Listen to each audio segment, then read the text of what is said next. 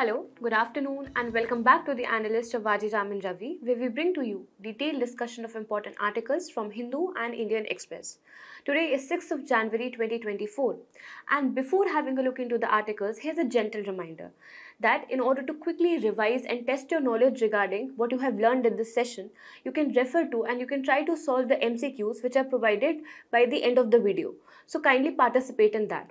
Now, let's have a glance into the important articles of the day. So, the first topic is about the maritime piracy. This is also in news because of the rising militancy in the Red Sea. And also in news because recently Indian MARCOS from Indian Navy have successfully put a positive end to the hijacking attempt in one among the vessels. In the second one, we will read about the Premier Financial Investigation Agency, that is Enforcement Directorate.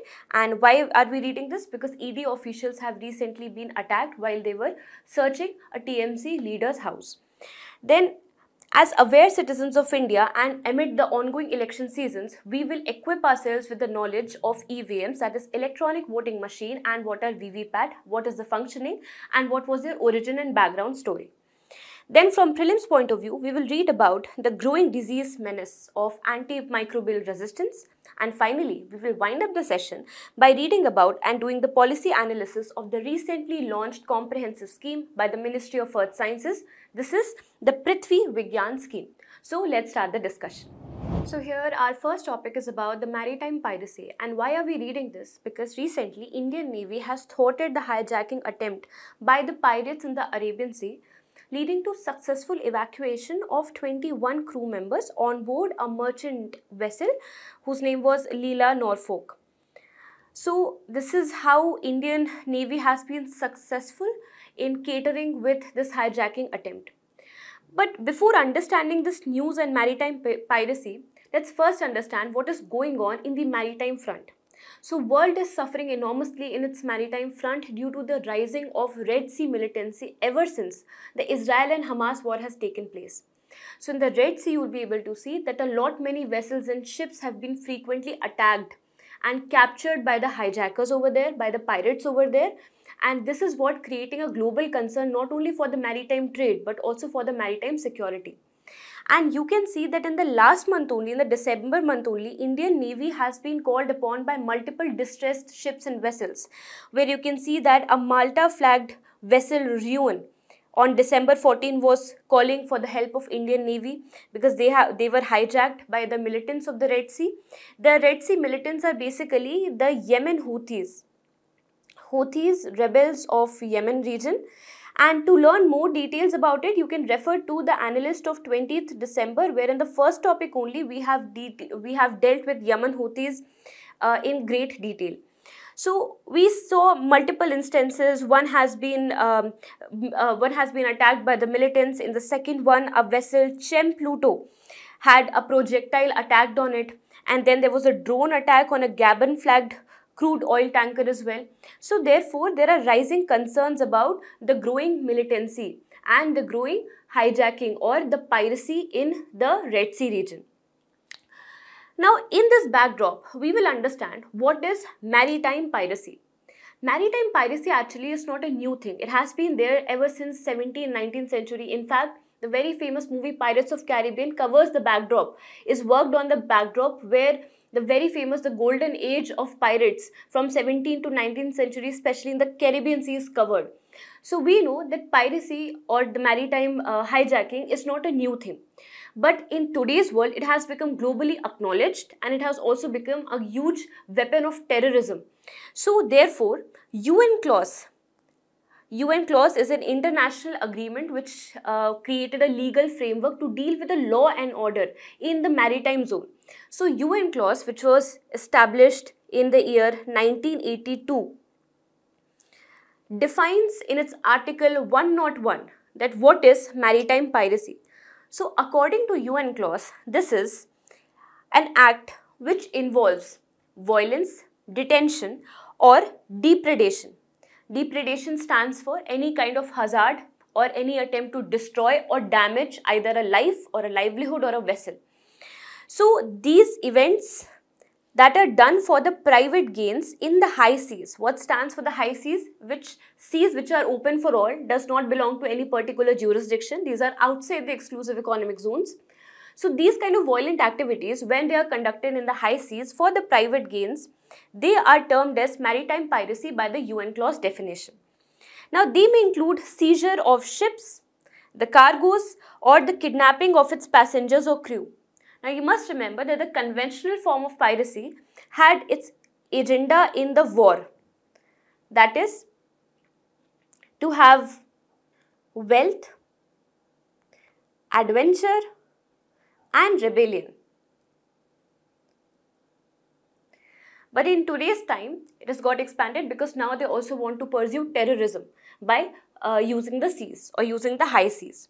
So therefore, it has become a very serious maritime crime. What are the different type of threats persist? There are multiple threats. There are multidisciplinary in nature. First of all, it causes physical harm to the crew member of the vessels and they cause physical harm by kidnapping them, asking for the ransom, even killing them, shooting them on the side.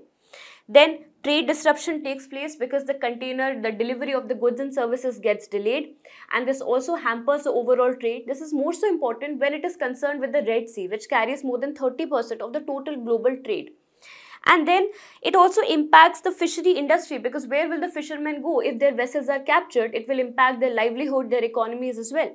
And finally it also have grave concerns related to the security of the coastal nations where this threat is being possessed. And also it is an international security concern as well because this is being done in the high seas. Now when we understand the threats what are the red zones of pirate activity ever since ever since the inception of this new form of terrorism.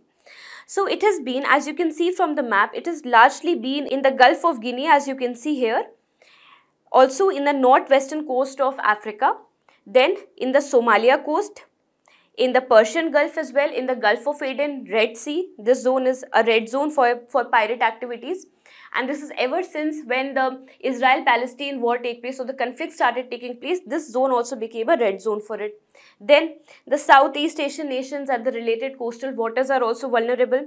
Then the Caribbean islands. Caribbean islands have been historically known for the pirates and we have Gulf of Aden, we have Indian Ocean, we have Indian subcontinent and we have Horn of Africa. Horn of Africa that is this region. Now, can you tell me the countries which are surrounding the Horn of Africa? Because this can be a good important question for prelims.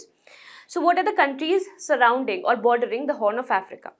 Now, these are the some of the red zones for the pirate activity now these pirate activities also needs to be taken care of they need to be we need to be safeguarded against these new form of terrorism so for that there are certain international initiatives and national initiatives we need to learn both so when it comes to international initiatives the first thing that we need is international cooperation so why do we need international cooperation? Because when something is being done on a common platform like High Sea, it is not only one stakeholder's responsibility, but responsibility of all the other countries as well to ensure the safety and the sanctity of the high seas and therefore we need international collaborations and international collaboration was for the first time taken care of by the united nations convention on the laws of sea this was initiated by this was initiated in the Montego Bay of Jamaica.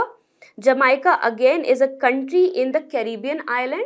So here in 1982, this legal framework was adopted in order to provide safeguards, law and order regarding the maritime security.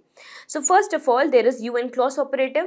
And second, we need to ensure that multiple regional efforts which are led by different countries are also in place in order to take care of any immediate emergency. So for example, there is this US-led multinational initiative to safeguard the seas, the Red Sea especially and the militancy that is going on there. This is the Operation Prosperity Guardian. Not only US is active but European Union is also active in the same region to safeguard the maritime security by Operation Atalanta and also you can see multiple operations that are carried on by Indian Navy as well. So there are certain regional operations as well to take care of the immediate emergencies. Then there need to be proper safeguard to penalize the people who have been doing the piracy or who have been hijacking the vessels and the people. So for this there is convention for the suppression of unlawful acts against the safety of maritime navigation. This was signed in 1988. then there should be a combined force, a combined force which is coming from multiple countries, a multilateral kind of force having contribution from multiple nations and stakeholders to ensure the safeguarding of the maritime of the maritime region. So this is the combined maritime forces. This is a multinational naval, uh, naval partnership where uh, the navy of multiple countries come together and they have deliberations and they have dedicated operations to safeguard the region. Then this requires efforts against terrorism, piracy. It also ensures fostering regional cooperation and overall promoting a secure maritime environment. It has got 39 members in it India is one of the member of it. So you need to remember it from prelims point of view and you can also use this information in your mains answers. Then what are the India's own initiatives? So India has been very active ever since 2008 when it comes to Gulf of Aden. So by the way, what is Gulf of Aden? Gulf of Aden is that Gulf which connects two water bodies. One is the Red Sea and second is the Arabian Sea. And it is in the Gulf of Aden where this uh, they, they, these, these hijacking attempts have been seen. So, Gulf of Aden and the Red Sea. So, India has been very active in its anti-piracy patrols and surveillance. So it has installed multiple naval ships, for example, INS Chennai, as can, seen in, as can be seen in this news, and has also installed multiple aerial surveillance with the help of helicopters, drones, etc. to have an all-round surveillance of the areas which are disturbed, and especially areas around the Bay of Bengal and Arabian Sea. Then we also have got comprehensive networks for information dissemination. These are the Coastal Surveillance Network. This is patrolled by the Indian Coast Guard. You must also remember that the areas up to exclusive economic zones are patrolled both by Indian Navy and Indian Coast Guards. So for information dissemination among them, there is Coastal Surveillance Network installed in India. There is a National Command Control Communication and Intelligence Network and there's also a national project which is named after National Maritime Domain Awareness Project. So these are some of the surveillance mechanisms adopted by India. What are the institutional measures? India has led to establishment and also participation in multiple institutions. For example, the Indian Ocean Rim Initiative or association which was found in year 1997 so it is composed of 20 plus countries india being a part of it. And uh, then we are also party to UNCLOS. We are also party to the Regional Maritime Security Initiative comprising of the regions of Indian Ocean uh, Rim. And then we have also established an International Fusion Center or Information Fusion Center which is headquartered in Gurgaon, New Delhi. So therefore, these are some of the corporations and institutions established by India. Then what are the policy initiatives? For maritime security, we have got the Sagar policy, which ensures security and growth for all belonging to the Indian Ocean region. The Sagar policy also entails certain provision regarding the piracy attempts or the hijacking attempts in the maritime domain. And we have also got a legal provision by the name of Maritime Anti-Piracy Act of 2022, very very recently legalized. It ensures that the people who are offending the laws and orders of the maritime security, they are duly penalized. So these are some of the safeguards that we need to take care of for both prelims and mains perspective because Red Sea militancy has been causing a lot of hijacking attempts in the maritime security. Now let's move on to the next topic of the day. This is Enforcement Directorate. And why are we reading? Because in a very unfortunate event, the ED team which was supposed to be conducting a search in the residence of a TMC leader in West Bengal, has been attacked. This team has been attacked by the supporters of this leader. So therefore, we'll be reading about Enforcement Directorate, a very, very important body for us to study. So Enforcement Directorate, as the name suggests, is a premier agency which is responsible for enforcing the provisions and the laws of the Constitution of India and especially the financial laws of the India. So therefore it is named as Enforcement Directorate. It is a directorate which is situated in the or office attached in the Ministry of Finance which takes care of the financial investigations and henceforth we call it as the premier financial investigation agency of the government of India which is also having multidisciplinary functions because it deals with multiple financial offences regarding the offences of foreign exchange laws or regarding the offences that are done by money laundering. So it covers and also like fugitive, fugitive economic offenses. So all of these are covered. So all of these are covered by Enforcement Directorate. Therefore, this is a multidisciplinary organization and therefore, you will see involvement of ED lately in many of the cases that you are seeing in newspapers. Now let's talk about the structure of the Enforcement Directorate. So Enforcement Directorate is headquartered in New Delhi with multiple regional offices. Regional offices are there in Mumbai, Chennai, Chandigarh, Kolkata and Delhi. You should also remember this from state PCS point of view. Who is heading the Enforcement Directorate? There is this Enforcement Director. Then how is the how is the people and the director recruited into this agency? It is done with the help of direct recruitment, which means there is no particular or specialized examination conducted for this. Rather, there is direct recruitment from other different investigation agencies, for example, CBI, etc. So here we take the officers of designation like IPS, IRS, IAS directly and put them into the Office of Enforcement Directorate. Then what is the tenure? This is very very interesting. So the tenure is 2 years typically but the chief's tenure or the director's tenure can be extended to up to 5 years by providing extension of 1 year at a time. So the total of it will become a 5 year tenure and this was made by the amendment of DPSE and CVC. Now, what are the functions? This is the main thing. So, as I've already told you, it performs multidisciplinary functions. So, first of all, it deals with the cases or offences related to the violation of the foreign exchange laws. What provides is the statutory backing to do so? This is the very important act, COFEPOSA or the Conservation of the Foreign Exchange and Prevention of Smuggling Activities Act of 1974. What it does essentially, it enables the ED to sponsor the cases of preventive detention. So, ED will be given the power to detain, to have preventive detention of the cases of the people who are contravening to the FEMA Act or the Foreign Exchange Management Act of 1999. Within this act only, it gets the power to investigate, adjudicate and also penalize the people who are accused of the offences or who are convicted of the offences. But it not only deals with the jurisdiction of foreign exchange law violation, but it also deals with money laundering. So it also gets the power to trace the asset derived from the proceed of the crime or say money laundering.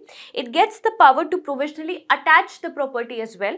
It also gets the power to prosecute the offenders and eventually confiscate the property but it's not done by ED as such. It is done by a special court. Confiscation of the property is done by a special court. So these are the two functions but they are not the only functions. It also deals with the jurisdiction regarding the fugitive economic offenders act for example vijay Mallya one among the fugitive economic offender. The the right to attach his property in india to confiscate his property is given to ed and therefore ed is responsible for going after them now, what are the issues related to Enforcement Directorate? Just like any other regulatory body, it has also got some lacunas. Let's discuss them. So, the first one is because it, it has got multidisciplinary functions across multiple statutes, multiple acts. Therefore, it is very vague, it is very ambiguous as to how long and how far does its discretion go. It has got huge discretion which eventually leads to misuse of power. Second, it lacks the transparency on the selection of the cases. It is generally seen that they target the opposition parties or those who have left the ruling party. So therefore, there is lack of transparency and there is also low conviction rate it was seen that in the year and from the decade of two, in the decade of 2005 till 2013 it was seen that the total rate of conviction was 0% for ED and from 2013 to 2022, the conviction rate was only 23%. So definitely it calls upon an alert to have more transparency and accountability matrix set for the ED so that we know that who are they, who are they accusing of and who are they going after. Then the political partisanship, ED also has been alleged to have a political bias towards those people. It generally provides quicker clean chits to the people who belong to the political parties or who have shifted their allegiance to the political party. So therefore, this also questions the legitimacy or the integrity of this financial premier body. Then we also need to suggest some of the reforms for the better strengthening of ED. First reform is that we need to have more comprehensive investigations, more efficient investigations so that the resources are not drained unnecessarily and also the conviction rate, if it is there, should increase as well. So here, we need to have enhanced coordination with other agencies like CBI, CVC, CIC, etc in order to have more comprehensive investigation. Second, that we need to have more efficient data analytics. For that, we can rope up the technology. For example, big data analytics. The age of digitization will promote the same. And then we need to have a robust whistleblower protection program so that the financial frauds can be revealed by whistleblowers without any fear or fright. This will help in the working and the better, uh, better conviction of the rates by the ED. Then ED needs to be having a clearer legal framework so that proper guidelines and rules are provided. Proper jurisdiction is provided to ED so that there is no scope of unnecessary discretion, misuse of power. Then we need to increase the accountability and transparency of the ED itself because it needs to reveal on what basis they are they are considering a particular case and rejecting or ignoring the other cases. They need to put their records, they need to put their data on notifications for public to see. And finally, we need to ensure that there is lessening of the political bias by also ensuring that there is less political interference in the working of enforcement directorate. This will ensure that the public will build trust on the enforcement directorate and will help in the functioning, will not cause obstruction in their functioning. So this was about enforcement directorate. Now moving on to the third topic. This is electronic voting machines and VVPATs. Now amid the election season, we are reading about this because the opposition leader, Jairam Ramesh, has raised concerns on the integrity and on the security of the VVPATs and the election and the electronic voting machines. So Election Commission though has dismissed the concerns regarding this, we as UPSC aspirants will take up the topic and read what is the evolution, what is the background story and how does these two mechanisms work in order to ensure free and fair election in world's largest democracy. Now, to begin with, the electronic voting machine EVMs. So EVMs are actually recent occurrences. They have only occurred after 1970s before that, when India saw the independence, we used to vote using the ballot papers. So what used to happen that we were getting ballot paper with symbols of different parties and we used to mark a cross against the person who we want to choose as our representative and then we used to put it in the ballot box and this used to be law but there were definitely concerns regarding the security of the ballot box because at that time hijacking the ballot box having a lot of invalid votes this was a common phenomena to take care of this and to establish more efficient voting mechanisms the Election Commission of India in 1977 mooted the idea of moving to electronic mode. This was more so needed because the technology advancement was taking place. Multiple countries, democracies were efficiently organizing EVM conducted votes so or EVM conducted election. So therefore, in order to overcome the ballot paper challenges, for example, the invalid votes, the hijacking of the ballots or the tampering of the ballots, all of this and also by taking the advantage of the recent coming technology, Election Commission decided to move to electronic mode from physical mode to electronic mode. This ensured that the election process could be free from ambiguity and you can verify now the voter can verify who are they voting and the voters are putting those votes which are being counted as valid votes so now the problem of invalid votes would also be decreased so taking that idea up MB Hanifa for the first time invented an electronic voting machine in, eight, in 1980 and to have a test trial of the same, it was first used in the election of Kerala in a by-election of the North Paravur Assembly constituency of Kerala. This is in the year 1981 immediately after its invention. Now, seeing the efficiency, as you know that, this, that the 61st Constitutional Amendment Act of 1988 did a very huge electoral reform where it shifted the age from 22 to 18, from 21 to 18. And it also did another thing that it amended the section 61A of the Representation of People Act that is responsible for governing the election conduct of India.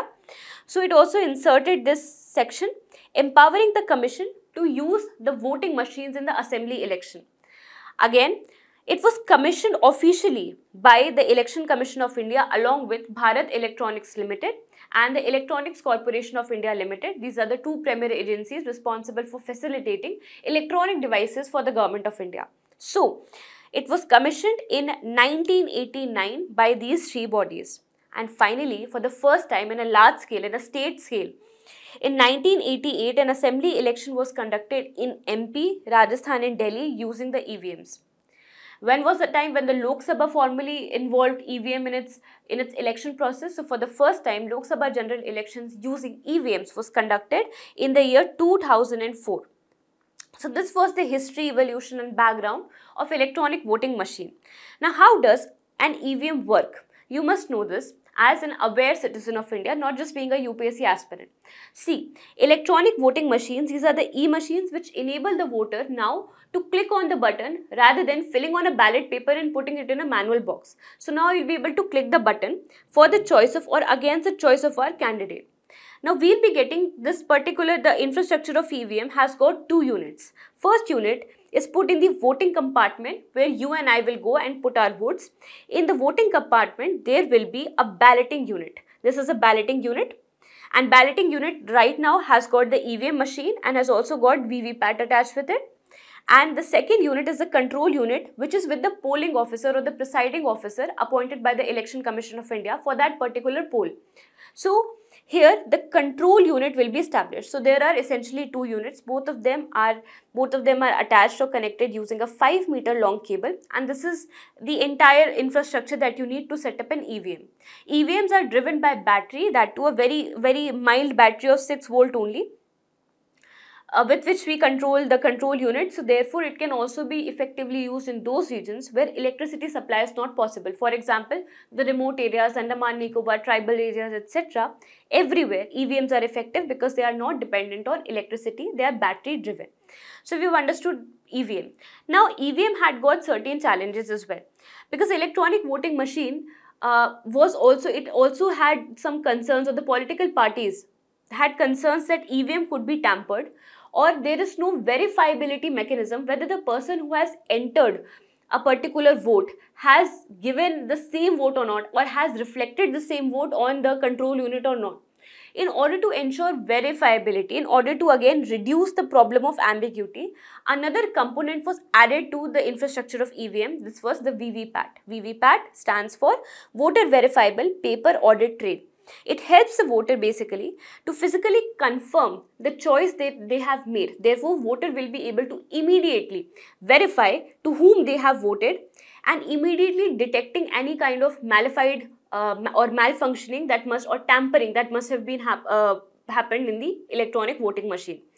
So this is a very quick verifiable method where an audit trail, a paper trail goes and then it uh, it stays there for about 9 seconds and then it, then it goes down. So you'll be able to verify. It, it is only for verify and also for the uh, for tallying by the Election Commission of India later on if any issue occurs. So this idea was first proposed by ECI in 2010 upon the request of multiple political parties in order to ensure the verifiability mechanism, the accountability mechanisms of EVM voting. So VVPAT was first used in an election in India in 2013 in Nagaland. So as you have seen, EVM was first for the first time used in Kerala. VVPAT is used in Nagaland. And VVPAT and EVMs were together used in large scale in the same year in Mizoram Legislative Assembly. And in the general Lok Sabha elections, it was in the year 2019 when VVPAT was established at the national level. Now, how does a typical VVPAT works? So first of all, VVPAT slip will be displayed as soon as you click on the button and it will remain there for 7 seconds. Sorry, it was not 9, it was 7 seconds. And then the slip would contain the three features and this question can be asked. What are these three features? First of all, the candidate serial number, the symbol of the candidate and the name of the candidate. Only these three things will be entailed in the VVPAT and it will be available for you for only 7 seconds. You cannot carry it back home. Then the counting of the slips in order to have a good tally. So a counting of slip is also done by the Election Commission of India by the end of the closing of ballot. So initially only one polling station's VVPAT were counted or were tallied out of one assembly constituency per assembly constituency. But now, upon multiple uh, requests by the political parties and also by the Supreme Court judgment of 2019, 5% of the total assembly seats and their respective polling stations will be counted now. There is also an ongoing demand that there should be 100% count of the VVPAT slip, but Election Commission of India believes that this is going to be a very tedious process and it will unnecessarily drain the manpower. So anyway, this is about EVMs, electronic voting machines and the voter verifiable paper audit trail. So I hope this is clear to you and none of the question will go wrong after now. Now from the prelims point of view, we will be covering AMR that is antimicrobial resistance. What is the news? That a recent survey that was conducted by NCDC, the National Center for Disease Control, which is under the Ministry of Health, it, in its report, first multicentric point prevalence survey of antibiotic use in the multiple sites of India of this year, this particular survey, named as such, released by NCDC, has thrown up startling statistics on the antibiotic overuse and misuse in India and the related diseases. This disease is known as antimicrobial resistance. Now, in order to quickly understand antimicrobial resistance, listen up this story. Ramu, Ramu was very fond of eating ice creams. Used to eat ice creams, used to violate the laws of temperature every now and then. So Ramu got infected by some viral disease. Now, upon having that, he went to the doctor. Doctor prescribed him a Schedule H drug. Schedule H drug that has a red line in it. Schedule H drug was prescribed, say azithromycin was prescribed. This was an antibiotic and he was given to follow the dose for 5 days. Ramu went home. Ramu, upon having the antibiotic, saw that this is his infection, his bacterial viral infection is suppressing. So why the infection was suppressing? Because some the moment antibiotic, antibiotics essentially is there to kill the biomes or to kill the uh, the disease causing uh, bacteria or the viruses or the fungi or the parasites inside the body. So the antibiotics started acting up, killing the microbes inside. But Ramu, he was he was so proactive towards eating ice cream. He had only two day dose and then he left the prescription and he went on to eating ice cream. He went on with his daily routine. Now what happens? In his gut, where the bacteria are living, here is where the microbes were getting killed by the antibiotics. But the moment he stopped taking the dose of antibiotic, the, the moment he violated the prescribed dose, some of the some of the microbes, say for example bacteria, they rejuvenated themselves. They somehow tried to live with the environment of of uh, antibiotics and therefore they built a resilience against these antibiotics for example azithromycin and now they will get converted into much stronger superbugs they will become so strong that they will not be killed by this particular antibiotic anymore so the next time when the Ramu will be having viral infection, he will not be or he will not respond. His body will not respond well against this readily available antibiotic because he has generated antimicrobial resistance in him. This is what we this is what we understand by antimicrobial resistance. So this is essentially resistance acquired by any microorganisms. Let it be the disease causing virus or the bacteria or the parasites or the fungi inside the body against any kind of microbial antimicrobial drug because of the misuse or the overuse of the drug and therefore the body's response against the infection has also gone down has dampened Therefore, it compromises with the immunity. This becomes more so chronic when it is against the chronic diseases. For example, tuberculosis, for example, chol cholera, for example, malaria, for example, pneumonia. All of these life-threatening diseases also become incurable if you become antimicrobial resistance against them. Now, why is this happening? Because the virus or the bacteria, they learn to grow, they learn to rejuvenate, learn to protect themselves. So evolution happens in them with, in the form of mutation. So when you take the abuse or when you abuse the dose of antibiotics, they generally adapt. The, the permanent killing does not take place and therefore they generally adapt to the environment and then they mutate themselves to become antimicrobial resistance and therefore it becomes life threatening so much so that World Health Organization has named it as the top 10 threat on the life of the people globally. It can also be highlighted from the fact that it is directly responsible for currently about 5 million deaths that are happening globally and it has been predicted by WHO that by 2050 this death rate will be up to 10 millions. So therefore, we need to deal with this havoc of antimicrobial resistance where a medicine itself has become a poison for the body. Now, what are the different types of antimicrobial resistance? So antimicrobial resistance first of all is resistance to a particular drug or drug of the first line of defense. First line of defense drugs are those which are inexpensive, more readily available to you and more frequently prescribed by the doctor. And they are also less harmful for other cells of the body. So, you can get, upon abuse of that, you can get, you might develop drug resistance. Drug resistance for only one type of the medicine, any one. So, the other would be effective for you. But once your body stops responding to almost all kind of first line of drugs or at least one kind of first line of drug, then you're set to develop multi-drug resistance TB, which means you're drug resistant not just to one type of medicine but also another as well. Now, the worst form is a rare form of multi-drug resistance which is known as extensive drug resistance. Let's take example of TB for example. TB disease has got the first line defense in nio in isoniazid and rifampicin medicines. Now, when the body becomes prone or resistance or resist, resist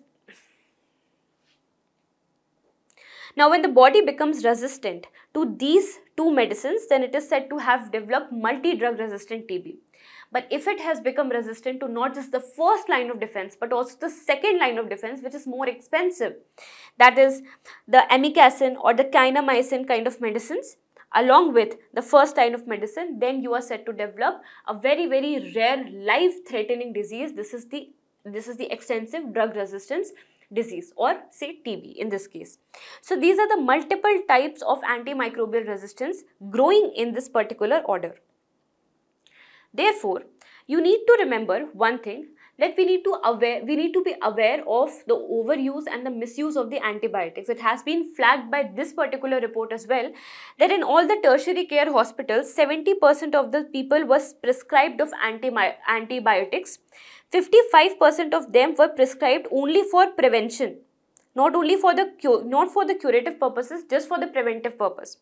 And the other 6%, only less than 6% were given medicines according to their particular disease issues. So this is the growing havoc of the overuse and the abuse of antibiotics. We as the patient or we as a citizen should also be should also ensure that whichever the red line campaign needs to be followed which is promoted by the government of india. So here is where all the medications that have red line in them they are considered as the schedule H drug and they should only be taken upon the prescription of the of the doctor. And this should be their dose should be followed as prescribed by the doctor to end to end so as to completely do away with the microbes that are taking place inside the body which are causing disease so therefore international attention is required and global efforts are required against antimicrobial resistance so that we ensure that medicine that are providing or supporting the life do not threaten the same then in the last topic, we will conclude by reading about this all-encompassing scheme recently launched by the Ministry of Earth Sciences. This is the Prithvi Vigyan scheme. So as the name suggests, it talks about studying or observing the earth, Prithvi or earth or the earth sciences. Now earth essentially is a system which comprises of multiple components. It involves the geosphere, it involves atmosphere, it involves hydrosphere, it involves cryosphere, it involves biosphere. And the best part is that all of them are complicatedly or have complex interactions with one or the other. For example, if you talk about climate change, you cannot have one dedicated agency which is just reading about the atmosphere where the climate change is persisting because climate change has bearing also on the hydrosphere in the form of sea level rise, in the form of melting of ice in the cryosphere, in the geosphere as well in the form of desertification, therefore, and also decline of biodiversity, so on the biosphere as well. So therefore, because of the turning nature of the climatic events and the growing hazards, now we need to read or study Earth as an entire comprehensive system rather than different systems or isolated systems. Now, in order to facilitate an integration of multiple systems and have a proper comprehensive study of the same, Ministry of Earth Sciences has launched an all-encompassing initiative known as Prithvi Vigyan Scheme to improve the understanding of the Earth system and to translate these learnings and these studies into or to translate the science into service. This is the agenda of the Ministry of Earth Sciences. This is going to be a five year long project where the five kind of schemes which were essentially previously taken up by the Ministry of Earth Sciences, all of them have been combined together. These are the Across scheme, OSMART, PACER, SAGE, Reach Out. The acronyms are very important because they can be asked in the prelims and you will be made to identify what they belong to. So, the across was related to atmosphere research, then ocean services were researched using OSMART scheme, PACER scheme researched the cryosphere, and geosphere was researched by seismology scheme and the overall research and development was taken care of taken care by reach. Out there were multiple schemes and now in line to have one nation one earth sciences scheme uh, the Modi government has produced Prithvi Vigyan scheme for a five year span with a cost outlay of about 4000 crore rupees which will promote the R&D in the earth sciences field in order to understand multiple hazards in order to understand the climate change events that are going on what are their effects and what can be the applications so that they can be brought to the service of mankind so let's quickly have an overview of their major objective. First of all is to have long-term observation of multiple components of the atmosphere and to have augmented data of them. Then to record the vital signs and changes in the earth system especially in those areas which have been largely unexplored. For example, the deep seas, the cryospheres etc. The Samudrayan mission is one step in the right direction for example. Then to develop modeling systems for understanding it better and for having better predictions regarding disasters or other weather events. Then exploring the unexplored areas like the high seas, the polar regions. Then, most importantly, developing technological implications or applications for the exploration and sustainability or sustainable harnessing of the economic resources. For example, from polar seas, we can have krills, we can have tunas, then from the deep seas, we can have polymetallic nodules. So we can have exploitation of these economic resources in a sustainable manner by developing technology by the, of the same using the Prithvi Vigyan scheme. It also entails the translation of science into service and this you can use as a tagline in your essays as well in your mains answer writing as well. It will give a good impact on the examiner. So anyway, this is about uh, the five topics that we were to discuss. Then uh, now I will call upon you to answer the following MCQs that are presented before you. And on that note, I'll end the session. Thank you so much and have a nice day.